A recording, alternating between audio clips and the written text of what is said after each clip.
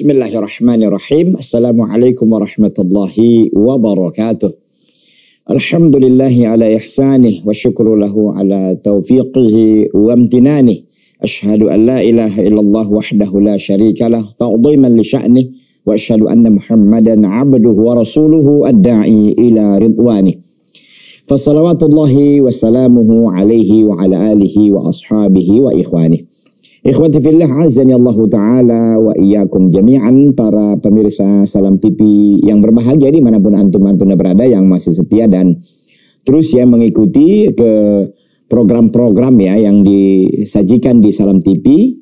Semoga semuanya bisa mengikuti dengan baik dan kita diberikan oleh Allah Tabaraka wa Ta'ala pahala yang berlipat ganda dan dimaafkan segala kesalahan dan kekhilafan kita. Dan Allah SWT mewujudkan semua impian dan keinginan kita dan kita diberikan kehidupan yang hasanah di dunia dan hasanah fil akhirah dan kita dijauhkan dari adab api neraka. Ikhwati fillah azani Allah taala wa iyyakum jami'an pada pertemuan sebelumnya ini sudah kita bahas terkait dengan apa? Terkait dengan sifat nuzul sifat nuzulnya Allah tabaraka wa taala. Kita ini sedang membahas sifat-sifat Allah yang terambil dari sunnah-sunnah Rasulullah sallallahu alaihi wasallam.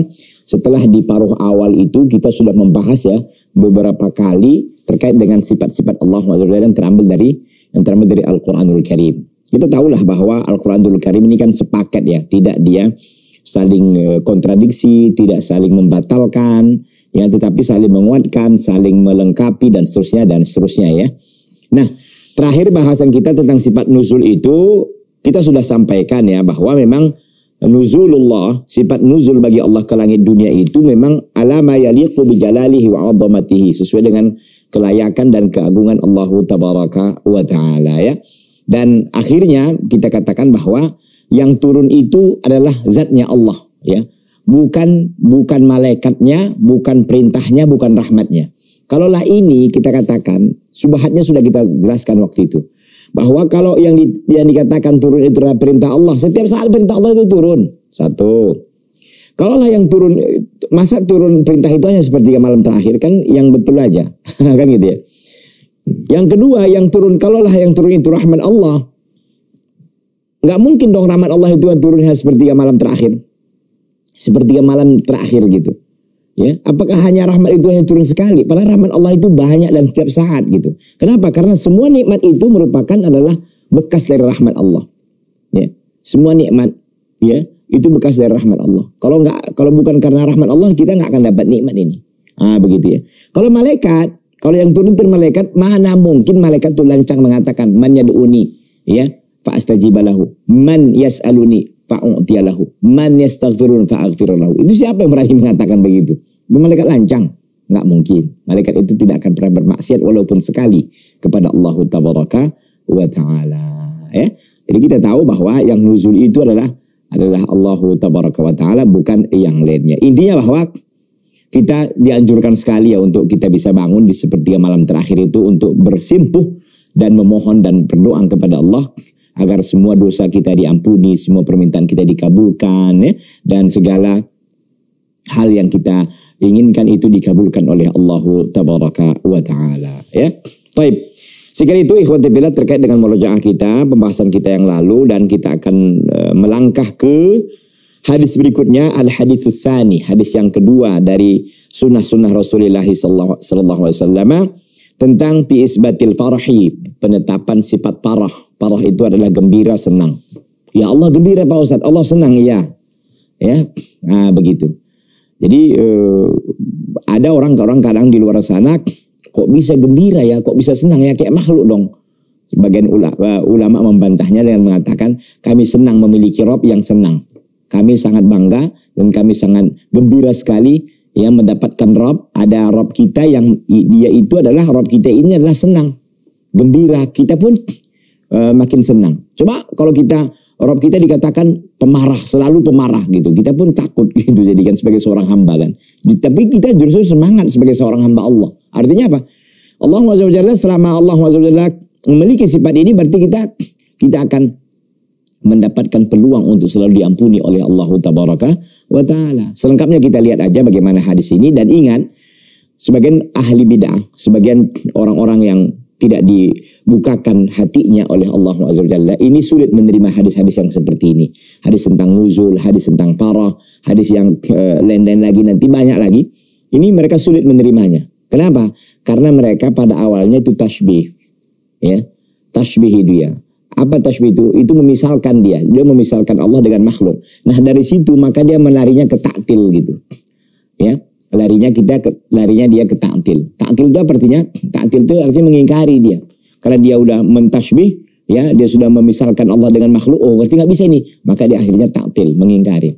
Kalau kita enggak, ya kita kita kita ini adalah kita kita tasbitkan, kita tetapkan bagi Allah, tapi kita tanzih, kita sucikan. Artinya kita kita tidak mungkin ya sifat Allah itu sama dengan sifat makhluk. Orang di antara makhluk aja pun beda kok, walaupun sifatnya sama namanya gitu, tapi hakikatnya berbeda. Apalagi dengan Allah Tabaraka wa Taala.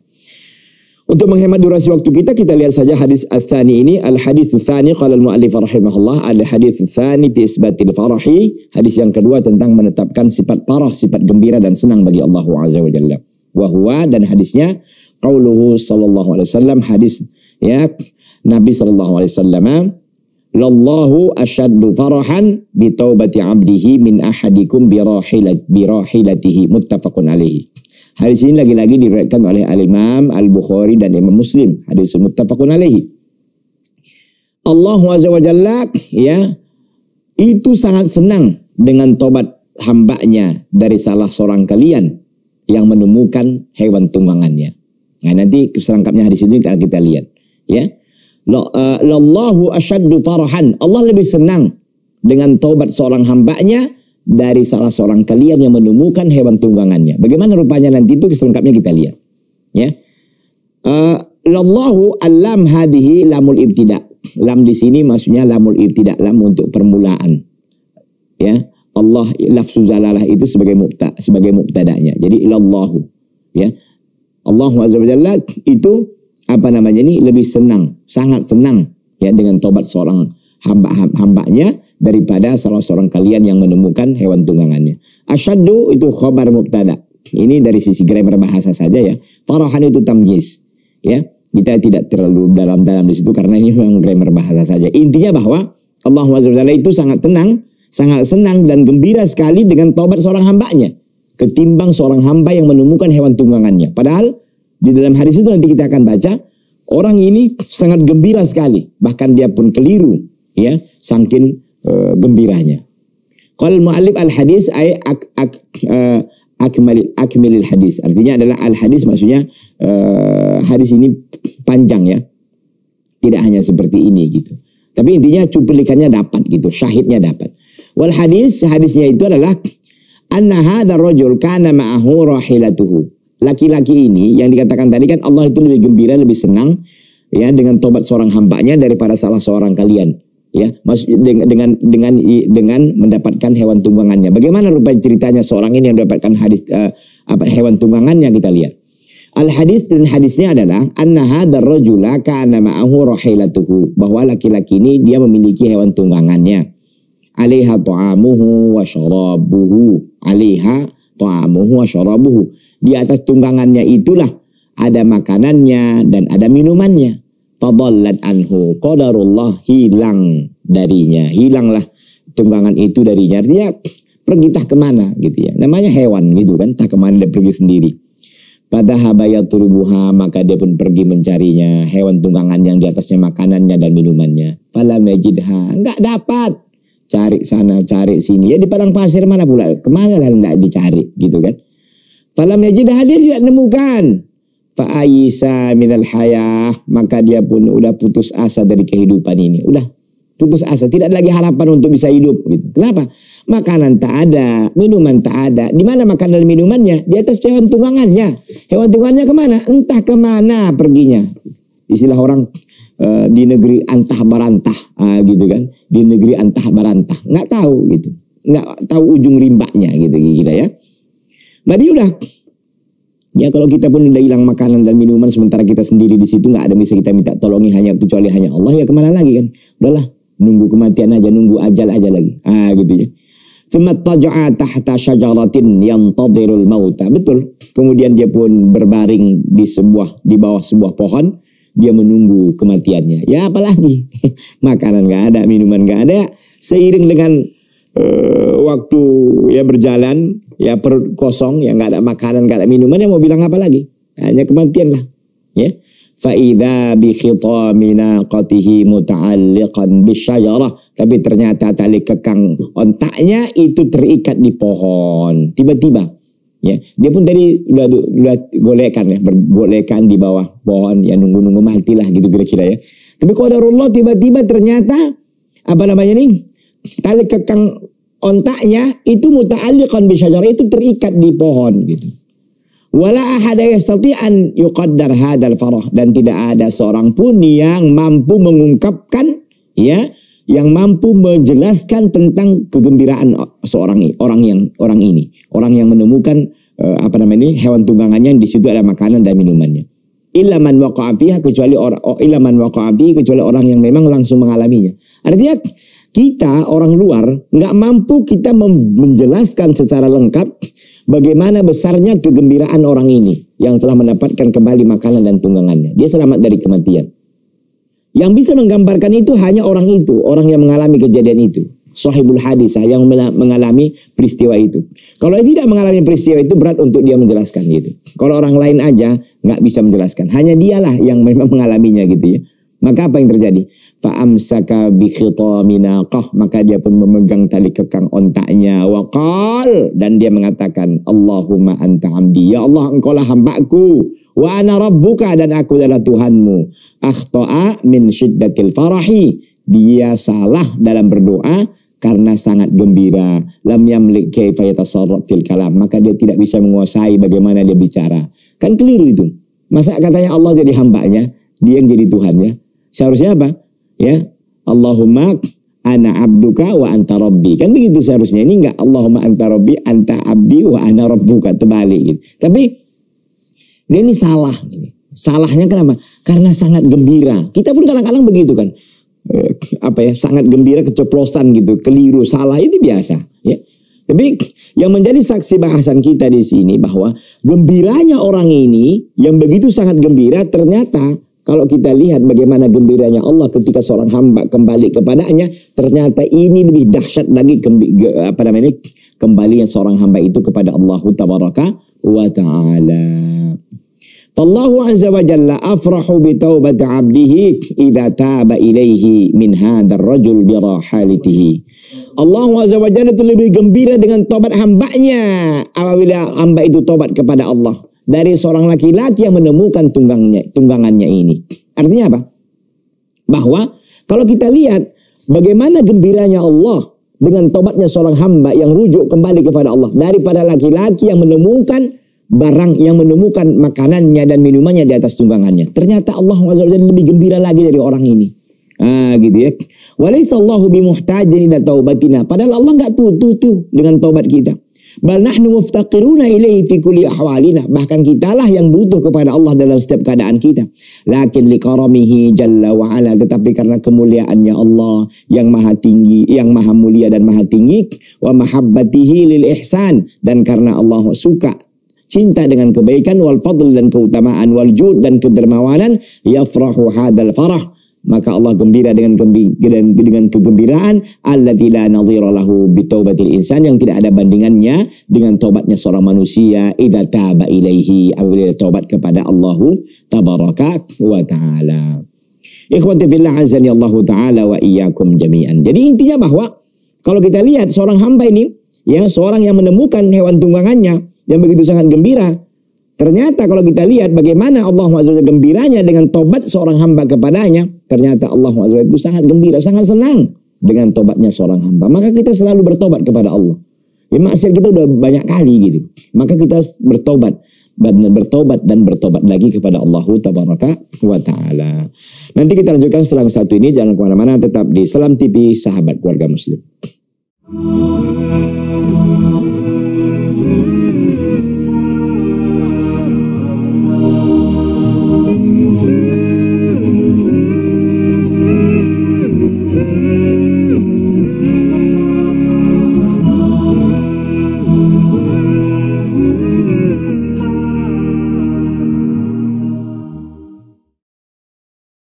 Amen.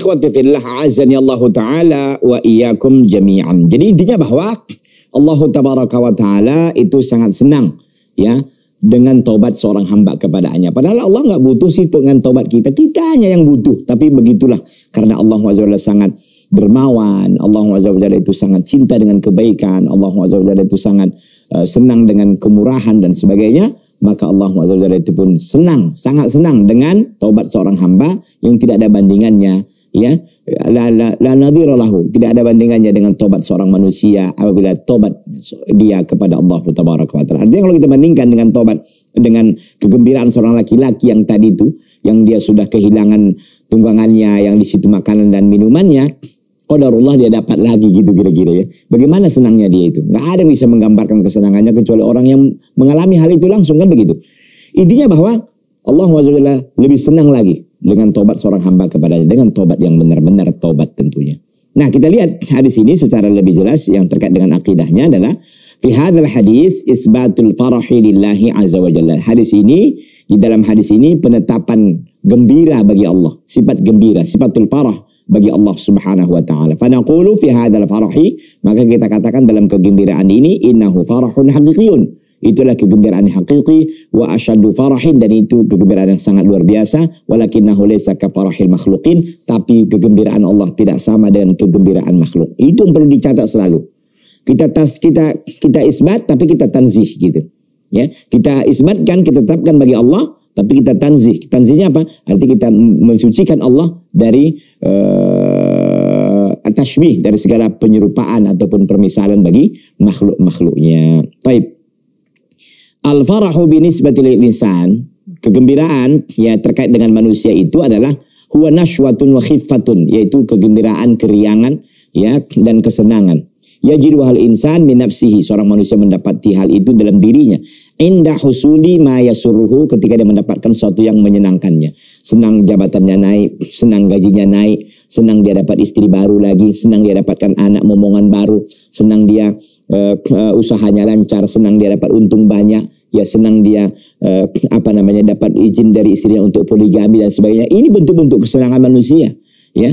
Walihada tash'uru bi annaka idza farahta bi syai'i annaka tamshi 'alal hawa. Oleh karena itu, apabila engkau gembira maka engkau uh, apa namanya ini? Uh, engkau itu seperti berjalan di atas hawa, di atas uh, udara gitu, melayang gitu. Enak aja ya.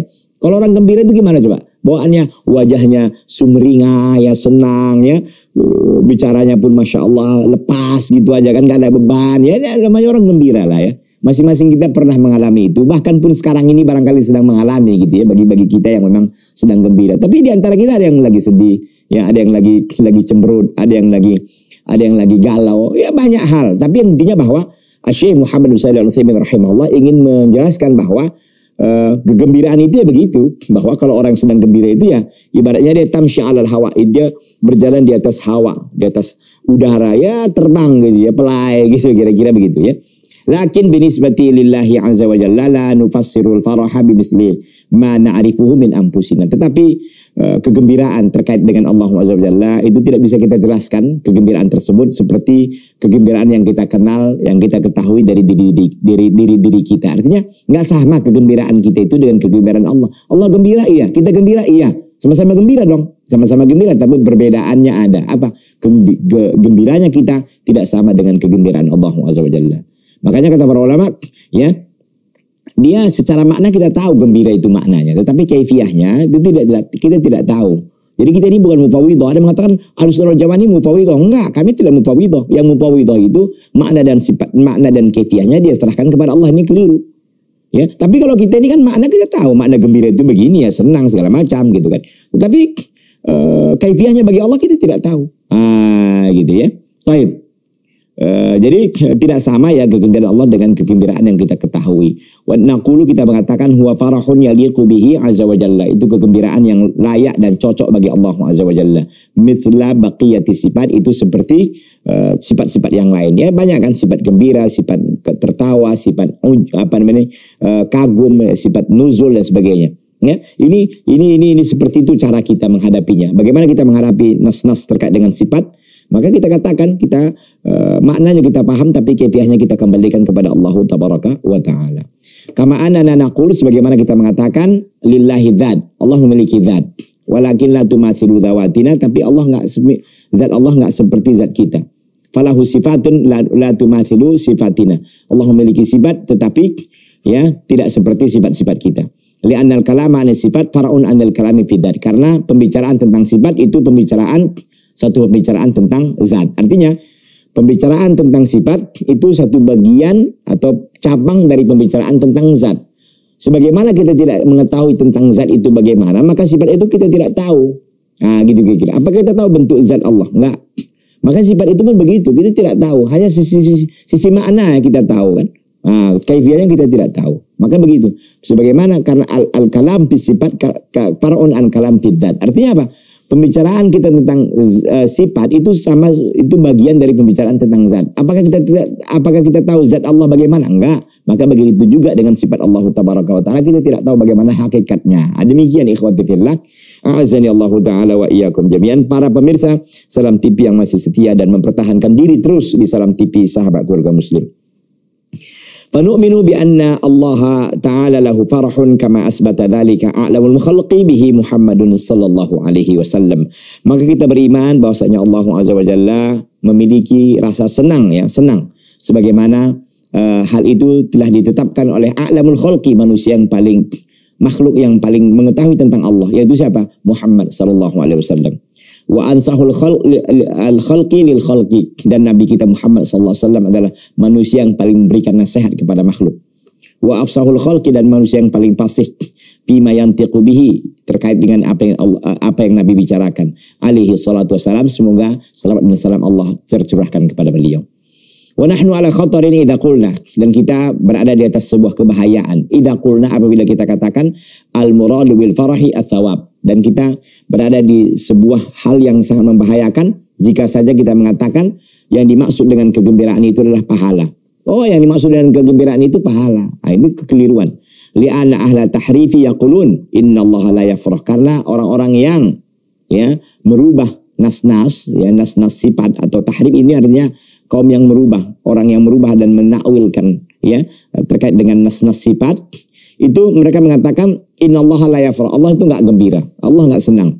Wal muradu bi farahi dan dimaksud dengan gembiranya Allah itu adalah isabatuhu at-taib. Itu apa? Pemberian Allah eh, pahala kepada orang yang bertaubat. Itu maksudnya. Jadi gembira Allah itu artinya apa?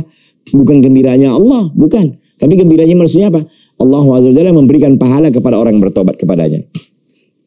Au iradati thawab atau Allah SWT menghendaki pahala kepadanya. Li'anahum yusbituna anna lillahi ta'ala makhluqan ba'inan minhu wa huwa thawab.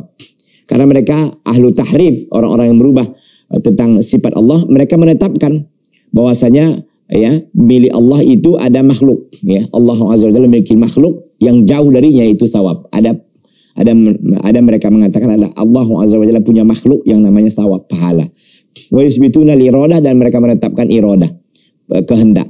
Fayaqulun fil farah maka mereka mengatakan tentang al farah tentang sifat al farah innahu ats-tsawab al makhluk itu adalah pahala yang sifatnya makhluk ai irad tsawab Allah Azza menghendaki pahala bagi siapa yang bertobat kepadanya. Jadi intinya bahwa mereka ini mentakwil, mereka ini merubah dari makna asalnya. Begitu. Ini kerjaan mereka ini. Ya, kerjaan orang-orang yang mentahrib, yang orang-orang yang merubah daripada sifat-sifat Allah taala. Wa nahnu naqulu sementara kita mengatakan al muradu bil farah ahlu sunnah wal jamaah mengatakan yang dimaksud dengan al farah kegembiraan itu al farah haqiqatun yaitu kegembiraan yang hakiki. Misalnya anna al murada billahi azza wa jalla adalah nafsuhu haqiqatan ya. Seperti bahwasanya dimaksud dengan Allah di situ adalah dirinya Allah sendiri. Lakinnana la nu la sifatina bi abadan. Tetapi kita tidak me e, misalkan sifat-sifat kita dengan sifat-sifat Allah selama-lamanya enggak. Ya artinya apa? Kita tetapkan sih bagi Allah Allah Azza wa Jalla memiliki sifat farah, kegembiraan. Manusia punya farah Pak Ustaz? Iya benar. Tetapi perbedaannya adalah sifat farahnya Allah, sifat kegembiraan Allah tidak sama dengan sifat farahnya makhluk. Enggak akan pernah sama. Nah, begitu ya. Ikhwati fillah azani Allah taala wa iyyakum jami'an. Ma yustafadu minal hadis, apa yang bisa diambil faedah dari hadis ini? Apa itu yang bisa diambil? Ma'isbatil farahi azza wa.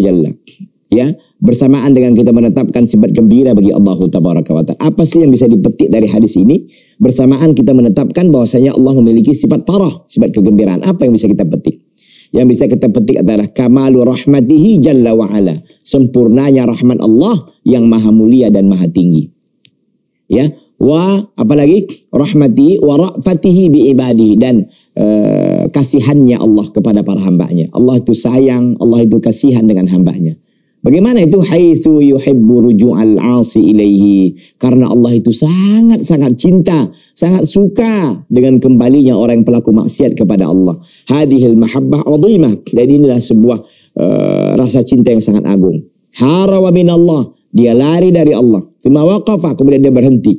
Wa raja'a kemudian dia kembali kepada Allah. Yafrahullahu bihi hadal farah al-azim. Maka Allah Jalla itu sangat gembira dengan kegembiraan yang sangat agung ini. Intinya bahwa apa? Intinya bahwa Allah Jalla dengan memiliki sifat farah ini, ini menunjukkan bahwa seorang hamba, ya, seorang hamba yang penuh dengan dosa dan maksiat, ini memiliki kesempatan yang sangat-sangat luar biasa untuk bisa dia rujuk dan Allah suka lagi itu. Bukan hanya Allah bukan hanya Allah terima, bahkan Allah suka gitu. Allahu akbar. Jadi bagi kita yang masih berlumur dengan dosa dan maksiat, ayo ayo ayo segera bertobat dan kembali kepada Allah tabaraka wa taala. Meskipun kita, Ustaz, saya ini tobat sekarang ini, tapi kayak kayaknya besok saya melakukan lagi nggak apa-apa. Ya, dosa lagi, tobat lagi, dosa lagi, tobat lagi. Jangan pernah capek dan jangan pernah bosan untuk bertobat dari segala maksiat itu. Jangan sampai dibalik. Ya, jangan sampai dibalik, jangan sampai bosan, jangan sampai bosan untuk untuk apa namanya ini, e, jangan sampai bosan untuk tobat. Ini ini payah. Ya, udah udah bosan dia tobat, jangan. Maka maksiat terus, jangan. Ya, terus aja. Kalau maksiat tobat, maksiat tobat. Begitulah kehidupan kita ini sampai ajal menjemput kan. Mana ada manusia ini yang selalu 24 jam dalam ketaatan kepada Allah? Mustahil. Mana ada pula manusia ini yang selalu dia tidak memiliki keinginan baik untuk uh, menjadi orang yang soleh, ada keinginan itu timbul kadang-kadang. Masalahnya eh, ketika dia timbul kita tidak merawatnya, kita tidak menyiraminya, kita tidak memeliharanya, kita tidak melestarikannya. Makanya ikhwan, ketika hidayah itu menyapa kita, kita jaga hidayah itu, kita pelihara hidayah itu, kita jaga petunjuk itu dengan baik, kita rawat dia dengan kita terlalu ilmi, dengan kita dakwah ilallah, dengan kita dekat dengan orang-orang soleh, berada di lingkungan yang baik. Kalau enggak, maka kita akan berbahaya secara keimanan, berbahaya secara pemahaman, berbahaya secara ketaatan. Karena godaan di akhir zaman ini enggak mudah, kecuali orang-orang dipelihara dan dijaga oleh Allah Taala. Ya. Jadi intinya bahwa uh, Allah Jalla ya memiliki uh, sifat al-farah rasa senang itu adalah kamalur rahmati itu bentuk apa namanya ini? Bentuk uh, rahmah. Itu bentuk apa namanya ini? Bentuk uh, kesempurnaan rahmat Allah Azza wa Jalla dan kesahi, ke kekasihannya ya kasihannya Allah kepada para hambanya. Karena dan Allah suka seorang itu kembali kepada Allah setelah dia meninggalkan Allah kemudian dia berhenti dan kembali kepada Allah ya dengan dosa dan maksiat yang dia lakukan ya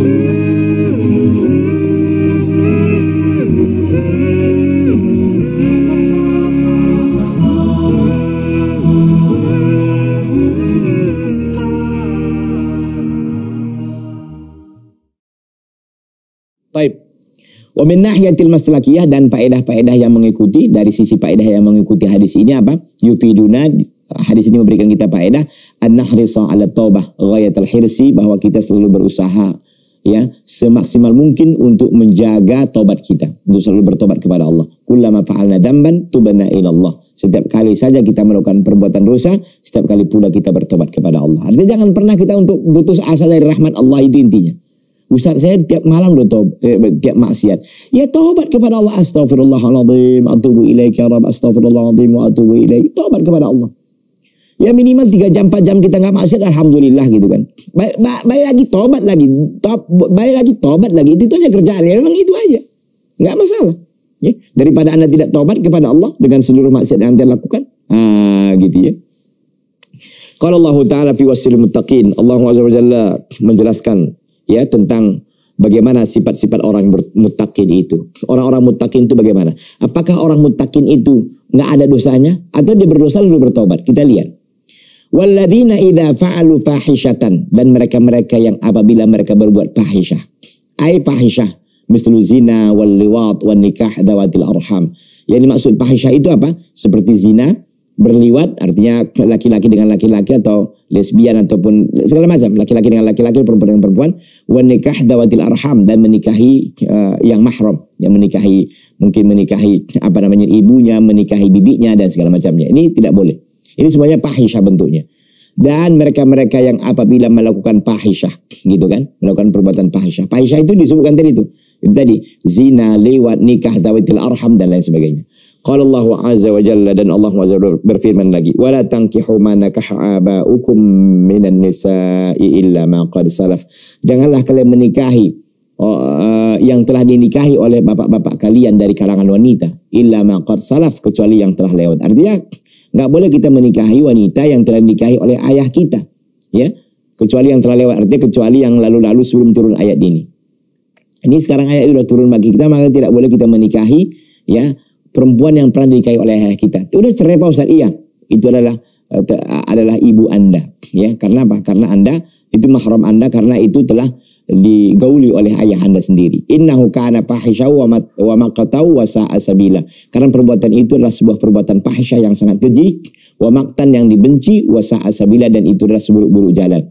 Ya, dalam surah An-Nisa ayat 22. Dalam surat yang lain Al-Isra 32, wala taqrabuz zina. Jangan kalian dekati zina, innahu kana fahishatan wa sa'a sabila. Karena zina itu adalah perbuatan yang keji dan seburuk-buruknya jalan. Wa qala wa qala Lutun liqaumihi dan Nabi Lut berkata kepada kaumnya, "It atatunal fahisyah." Apakah kalian mendatangi perbuatan melakukan perbuatan yang fahisyah? Itu tadi laki-laki dengan laki-laki dan seterusnya dan seterusnya gitu kan. Idan oleh karena itu Walladzina idza fa'alu fahisyatan aw dhalamu anfusahum dzakarullah. Mereka-mereka yang berbuat fahisyah atau menzolimi diri-diri mereka, dzakarullah lalu mereka menyebutkan nama Allah Azza wa Jalla. Dakarullah Ta'ala fi nufusi. Mereka ingat Allah Azza wa dalam diri-diri mereka. Dakaru adamatahu. Mereka mengingat keagungan Allah. Wa dakaru iqabahu. Dan mereka mengingat tentang siksaannya Allah. Wa dakaru thawabahu litta'ibin. Dan mereka juga mengingat bagaimana besarnya pahala yang Allah sediakan kepada orang-orang yang bertobat. Apa yang terjadi? Fastaghfaru lidunubihim. Lalu mereka pun langsung bertobat kepada Allah dengan semua dosa yang mereka lakukan. Ai fa'alu ma fa'alu. Mereka telah melakukan apa saja yang mereka telah lakukan. Lakinnahum dzakarullaha ta'ala fi nufusihim. Tetapi mereka mengingat Allah Azza wa di dalam diri mereka. Wastaghfaru lidunubihim. Lalu mereka bertobat kepada Allah terhadap dosa-dosa mereka. Lalu mereka beristighfar kepada Allah ya terhadap semua dosa-dosa yang mereka, mereka lakukan. Fayaghfirullahu lahum lalu Allah mengampuni diri, di, mereka itu semuanya. Wa dalil dan dalilnya adalah wa may yaghfirud illallah. Tidak ada yang bisa mengampunkan dosa kecuali hanya Allah Azza wa Jalla.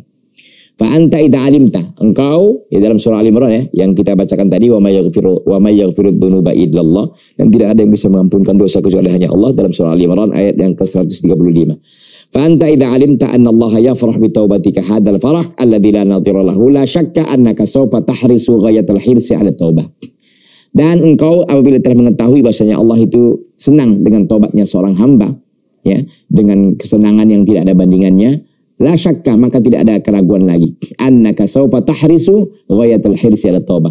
Maka engkau pun ya tidak diragukan lagi bahwa engkau akan senantiasa benar-benar ya berusaha seserius ya berusaha serius ya seserius mungkin untuk bertobat kepada Allahu tabaraka wa taala. Jadi ini semuanya adalah berangkat dari apa tadi? Berangkat dari Allah Azza memiliki sifat parah, senang dan Allah sangat senang dengan tobat-tobat para hambanya. Dan Syekh Muhammad bin Shalih rahimahullah di sini menyebutkan tentang wali taubati syurutun khamsah. Tobat itu kata beliau ada lima syaratnya. Jadi eh, orang yang eh, melakukan perbuatan dosa dan maksiat di ujungnya sana itu ada pintu tobat yang semestinya dia dia dia dia lewati dan dia menuju hal itu karena semua kita memang tidak ada yang bisa menjamin dirinya untuk selalu dalam uh, keadaan taat dan taubat kepada Allah tabaraka wa taala.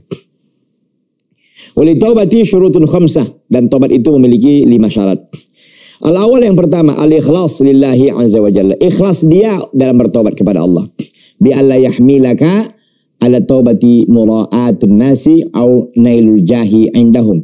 Bahwa tidak ada yang membawamu untuk bertobat ini adalah mura'atun nas karena supaya dilihat oleh manusia ria enggak au nailul jahi indahum atau untuk mendapatkan kedudukan di sisi mereka. Au ma wa au ma atau yang serupa dengan hal demikian min maqasidid dunia dari tujuan-tujuan dunia. Enggak ada dia ikhlas karena Allah. Mau orang lihat mau orang puji mau orang apa enggak peduli. Saya tobat kepada Allah dan Allah Maha menerima tobat dan Allah senang dengan tobat saya. Gitu ya.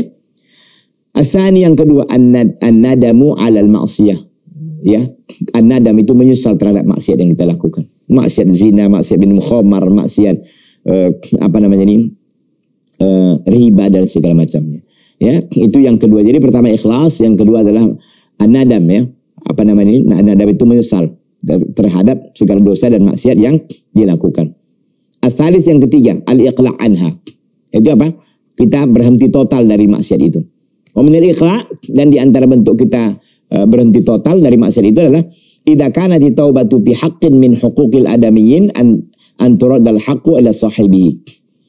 Apabila adalah taubat itu terkait dengan hak dari hak-hak anak Adam, maka anturat dal haqqu ila sahibi maka hak-hak itu hendaklah dikembalikan kepada empunya kepada yang punya artinya sebagai bentuk e, tobat kita yang benar yaitu kita berhenti dari maksiat itu artinya kalau itu terkait dengan manusia maka segera kita selesaikan gitu mungkin ada barang yang kita ambil atau ada perkataan yang menurut kita menyakiti, ya kita segera datang, ya segera datang kepada orang tersebut dan meminta uh, dimaafkan dan dihalalkan begitu ya. Kalau itu barang yang dikembalikan, kalau itu barangkali perkataan atau apa pun itu minta untuk dia ridho. Karena ini syarat daripada syarat-syarat bertobat setelah ikhlas, setelah menyesal adalah al-iqla. Iqla itu artinya berhenti total dari dosa dan maksiat. Arabi yang ke yang keempat al-azmu alla ta'uda fil mustaqbal yaitu punya keinginan dan tekad yang kuat agar engkau ya agar engkau tidak kembali kepada maksiat tersebut ya di waktu yang akan datang. Jadi ada juga berusaha dia ini al azmu punya tekad yang kuat Allah ta'ala fil mustaqbal agar dia tidak kembali ke dosa itu di tahun-tahun yang akan datang. Meskipun tidak ada yang bisa menjamin gitu kan. Sekarang dia tobat, besok dia maksiat, besok dia tobat, besoknya lagi maksiat. Bisa, ya jadi. Tapi demikian pun kita tidak pernah uh, putus asa dari bertobat kepada Allah. Terus tobat, terus tobat. Ya. Al-Khamis artinya selama anda maksiat selama itu pula anda harus bertobat itu intinya. Al-Khamis yang kelima antakuna taubatu fi waqtil qabul wa yanqati'u qabulul taubati binisbati li umumin nasi bidulu isyamsi min maghribiha wa binisbati li kulli wahidin bihuduri ajalihi. Yang kelima, syarat tobat itu setelah ikhlas, setelah penyesalan, setelah ikhlas berhenti total, setelah kita punya azam yang tekad yang kuat untuk tidak kembali lagi dalam uh, maksiat yang sama di waktu yang akan datang. Yang kelima, antakuna taubatu fi waktil qabul. Tobat itu diadakan atau dilangsungkan di waktu yang masih ada penerimaan tobat. Bagaimana itu kita lihat. Wa yang qati'u qabulul taubah dan terhentilah menerima tobat binisbati li umumin nas terkait dengan semua manusia bitulu isyamsi min maghribiha ketika terbit matahari dari terbit matahari dari sebelah barat. Kita tahu bahwa ketika matahari terbit dari sebelah barat berarti kan e, hari kiamat e, sudah sudah ini ya, sudah, sudah dekat sekali dan pintu tobat pun sudah tertutup rapat-rapat di waktu itu. Wa binisbati likulli wahidin bihuduri ajalihi. Sementara e, terkait dengan individu masing-masing itu ketika ajalnya telah tiba. Artinya ketika ajalnya telah tiba maka di situlah pintu tobat udah tertutup dan tidak mungkin lagi dia ya untuk bertobat kepada Allah tabaraka wa taala. Qala Allah taala dan Allah azza wa jalla berfirman, "Wa laysatit taubatu lil ladzina ya'maluna sayyiati hatta idza hadara ahaduhumul mautu qala inni tubtul ana." Dan tidaklah tobat itu kepada mereka-mereka yang melakukan perbuatan keburukan sehingga apabila mereka didatangi oleh kematian ya sehingga apabila salah seorang mereka didatangi oleh kematian qal dia mengatakan ini itu betul an aku bertobat sekarang nggak bisa Jadi pintu tobat itu akan tertutup ketika itu matahari terbit dari barat ini secara umum, tapi masing-masing kita tentu batasan untuk tobat itu juga ada. Apa itu? Ketika ajal kita sudah datang, nyawa di kerongkongan, tobat apa pun yang kita lakukan tertutup dan terhentilah sudah ikhwati fillah. A'azani Allah taala wa iyyakum jami'an ya. Wasaha Nabi sallallahu alaihi wasallam dan telah sahih dari Nabi sallallahu alaihi wasallam anna zaman taubah yang qati'u idza tula'i min maghribiha. Dan telah sahih dari Nabi sallallahu alaihi wasallam bahwa masa taubat itu terputus apabila matahari terbit dari dari sebelah barat. Wa nasu yu'minuna dan manusia pun ketika matahari terbit dari barat itu beriman kepada Allah. Ya walakin la yanfa'u nafsan imanuha. Tapi seorang jiwa tidak akan memberi manfaat keimanannya. Di dalam takun amanat min qablu apabila tidak beriman dia sebelum terbit matahari tersebut. Aw kasabat fi imaniha khaira atau dia melakukan kebaikan di dalam imannya. Intinya bahwa ini terkait dengan waktu ya. Waktu tobat ini uh, adalah ketika matahari belum terbit dari dari barat. Tapi ketika matahari terbit dari barat dan orang mengaku dan uh, semuanya mengatakan kami beriman, itu tidak akan bermanfaat keimanannya. La yanfa'un la yanfa'un nafsan imanuha. Iman seorang itu tidak bermanfaat lagi, ya. Ida, dalam takun amanat, lam takun amanat min qablu. Yang dia dia yang dia ini belum beriman sebelum matahari terbit dari barat tersebut. Au kasabat fi imaniha khaira atau dia melakukan kebaikan dalam imannya. Kalau enggak ada keimanan sebelum itu, sebelum matahari terbit dari barat, maka ketika terbit matahari ketika matahari terbit dari barat lalu dia bertobat, maka keimanannya ditolak. Tobatnya ditolak, tertutup tobat. Ya. Hadhihi khamsatu syurutin idza tamat sahhati taubah. Inilah lima syarat yang apabila terpenuhi maka sahlah tobat seorang. Ada keikhlasan, kemudian ada nadamah, penyesalan, ada ikhlas. Ikhlas ini ada dua, ikhlas dari maksiat biasa atau maksiat terkait dengan Ibnu Adam. Yang keempat adalah dia ber, berusaha untuk tidak kembali kepada dosa dan maksiatnya. Ya, yang kelima adalah dia berusaha uh, ya melakukan tobat itu sebelum waktunya berakhir. Ikhwati billah azani Allah taala wa iyyakum jami'an. Walakin hal syaratu li sihhati taubah an yatuba min jami'i dunub? Apakah disyaratkan ya untuk sahnya taubat itu harus dia bertobat dari semua dosa? Dosanya banyak kan, dosa zina, dosa mencuri, dosa minum khamar, dosa main perempuan segala macam banyak. Ya, apakah itu disyaratkan untuk tobat dia semuanya? Fihi khilafun. Di situ ada perbedaan pendapat para ulama. Walakin sahih tetapi pendapat yang benar annahu laysa bi syartin wa annaha tasihu tawbah min dambin ma'al israri ala ghairihi. Tetapi itu bukan jadi syarat harus semua ditobatinya. Tetapi bahwasanya sahlah tobat dari satu dosa bersamaan dengan terus-menerus dia dia melakukan dosa yang lainnya. Ini terdapat di dalam uh, uh, kitab bisa dilihat nanti ya ada riwayat dari Imam Ahmad bisa dicek dalam kitab Madarijus Salikin di Ibnu Qayyim rahimahullah rahmatan wasi'atan. Lakin hada taib la yasluk alaihi wasfut taibin al-mutlaq. Ya, tapi orang yang bertobat ini yang seperti ini sifatnya dia tidak disebut dengan orang yang bertobat secara mutlak. Fayuqal tabat taubatan muqayyadah la mutlaqah maka dikatakan dia sedang bertobat tapi tobat yang bersifatnya terikat bukan mutlak. Kenapa? Karena dia hanya mentobati dirinya dari satu dosa sementara dosa lain itu belum ditobatinya. Tapi itu pun penting lah kan. Begitu kira-kira ya. Udah satu atau dua dosa ini yang di, yang, yang dia bertobat dirinya mudah-mudahan dia diberikan oleh Allah kekuatan dan topik agar dia bisa bertobat dari semua dosa yang pernah dia lakukan. Mudah-mudahan ikhwati fillah azani Allah taala wa iyyakum jami'an para pemirsa salam TV yang berbahagia semuanya bisa mengambil faedah apa yang saya sampaikan. Semoga bermanfaat bagi diri saya dan antum sekalian. Hadza wa sallallahu wasallam wa baraka ala nabiyina Muhammadin wa ala alihi washabbihi wasallam. Subhanaka Allahumma bihamdika asyhadu an la ilaha illa anta astaghfiruka wa atubu ilaika. Wassalamu alaikum warahmatullahi wabarakatuh.